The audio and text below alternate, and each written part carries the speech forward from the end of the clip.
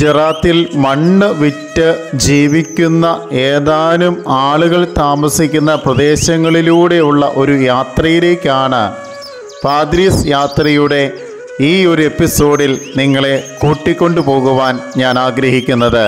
ഈ ഒരു പ്രദേശത്ത് എന്തോ പ്രതിഭാസത്തിന്റെ ഭാഗമായിട്ട് ഇവിടുത്തെ മണ്ണിനുണ്ടായിരിക്കുന്ന പ്രത്യേകതയാണ് വിവിധ തരത്തിലുള്ള വസ്തുക്കൾ നിർമ്മിക്കുവാൻ ഇവിടുത്തെ മണ്ണ് ഉപയോഗിക്കാൻ സാധിക്കുന്നത്. ഈ സാധ്യതയാണ് അവർ പണമാക്കി മാറ്റുന്നത്. ഈ പ്രദേശങ്ങളിലൂടെ യാത്ര ചെയ്യുമ്പോൾ ഇവിടെ കുഴിച്ചെടുക്കുന്ന ബോക്സൈറ്റ് എന്ന് പറയുന്ന മണ്ണിനെക്കുറിച്ചുള്ള ചിന്തകളാണ്.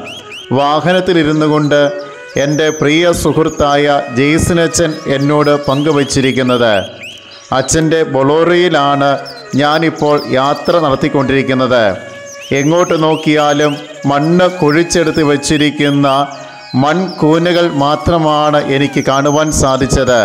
അവിടെ ബോക്സൈറ്റ് ഉണ്ട് ചൈന ക്ലേ ഉണ്ട് വെള്ളപ്പൊടിയായിട്ട് കാണപ്പെടുന്നതൊക്കെ ചൈന ക്ലേ എന്നുള്ള കാര്യം ഞാൻ അച്ഛനിൽ നിന്ന് മനസ്സിലാക്കുകയായിരുന്നു. ഈ ചൈന ക്ലേ ഉപയോഗിച്ചാണ് ടൈലുകൾ നിർമ്മിക്കുന്നതെന്നും സിമെന്റിന്റെ കൂട്ടത്തിൽ ഭിത്തി തേക്കുവാൻ വേണ്ടി ഇവ ഉപയോഗിക്കുന്നുണ്ട് എന്നുള്ള കാര്യങ്ങളൊക്കെ ജെയ്സനച്ചൻ വാഹനത്തിലിരുന്നു കൊണ്ട് നേർക്കാഴ്ചയിൽ എന്നോട് പങ്കുവയ്ക്കുകയായിരുന്നു.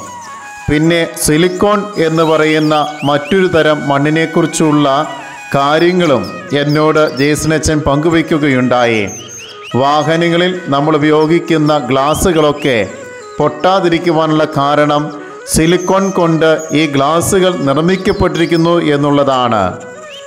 ഈ പ്രദേശത്തുള്ള ആളുകളുടെ പ്രധാന വരുമാന മാർഗം എന്ന് പറയുന്നത് ഇതുപോലെയുള്ള ഫാക്ടറികളും മണ്ണെടുക്കുന്ന ഏതാനും പ്രദേശങ്ങളുമൊക്കെയാണ്. അതുകൊണ്ടാണ് മണ്ണ് വിറ്റ് ജീവിക്കുന്ന ഏതാനും ആളുകൾ ഈ ഒരു പ്രദേശത്തുണ്ട് എന്നുള്ള കാര്യം പങ്കുവയ്ക്കുവാൻ ഞാൻ ആഗ്രഹിച്ചത്.